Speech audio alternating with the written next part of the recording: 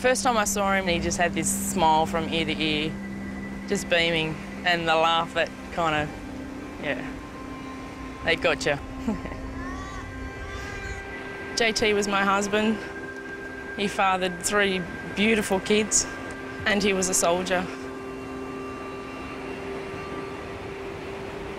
But he died in Afghanistan doing his job. This place is where we got married, and it's where he lies.